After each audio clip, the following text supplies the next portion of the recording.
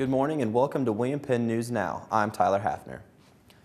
Bingo night came to William Penn last night at the Penn Cafe. Students had a chance to win many prizes. Some prizes included William Penn attire, gift cards to Walmart and Subway. The grand prizes included Beats by Dre and an Xbox One. The event is sponsored by the William Penn University Advancement Office with prizes donated by PASS, Booster Club, William Penn Bookstore, and other generous donors. WPNN would like to congratulate all the participants as well as the winners. University held its traditional Dean's Convocation on the 22nd of February. Randye Jones was the invited speaker for the occasion. The event coincided with the week of MLK Day, and Penn's unique part in civil rights history was highlighted.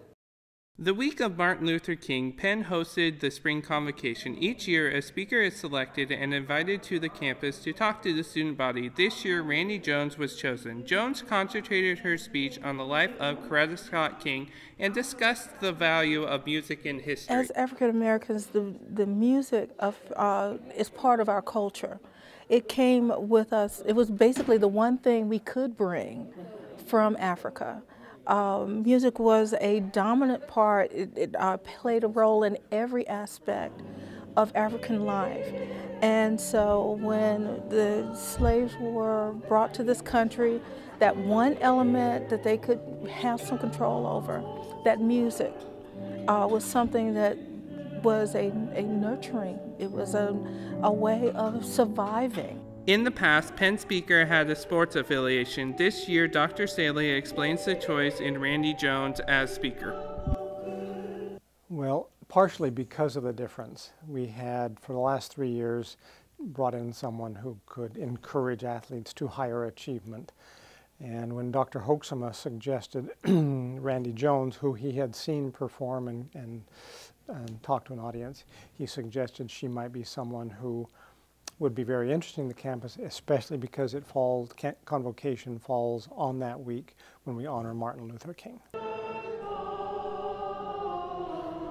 During the convocation, another prolific civil rights figure is highlighted, Marian Anderson. It was related that Anderson had came to William Penn and is considered one of the finest contraltos of her time and set the stage for the civil rights era.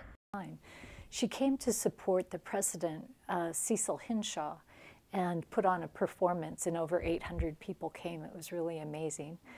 Unfortunately, there's some um, uh, some really bad things that happened. She couldn't find a hotel room to stay in in Oskaloosa.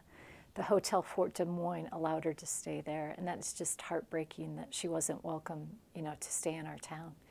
And um, she wanted to support the president, she came and put on this fantastic performance, but unfortunately it wasn't enough, and he ended up resigning. There wasn't enough support to, for his administration, which was really sad.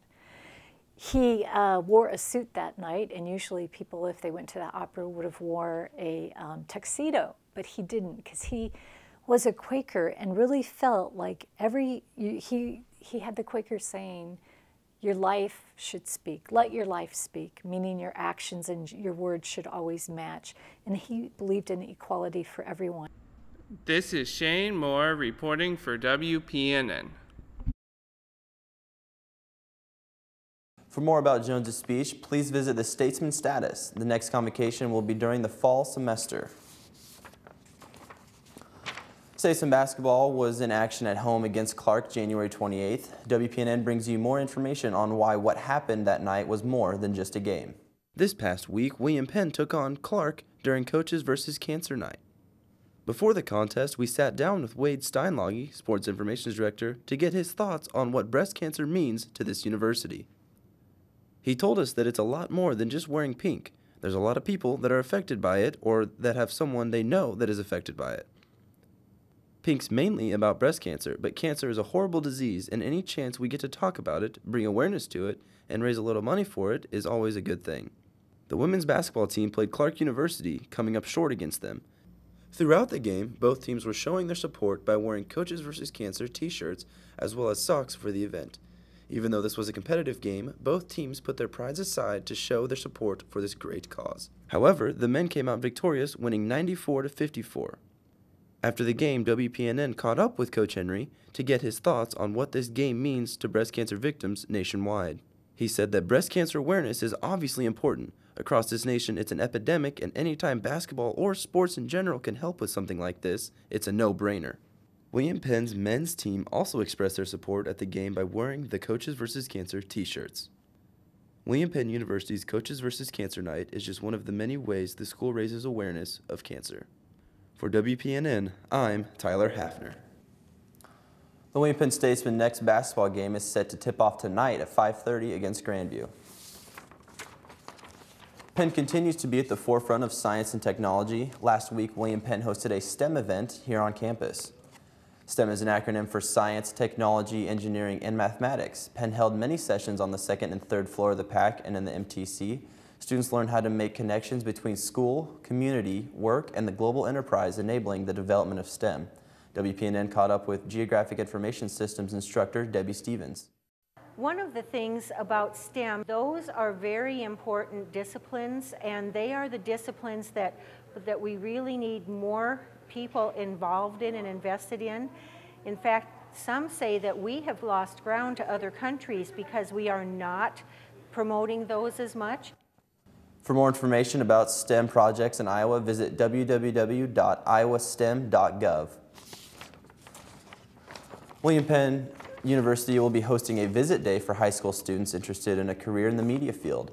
The visit day is set for February 10th.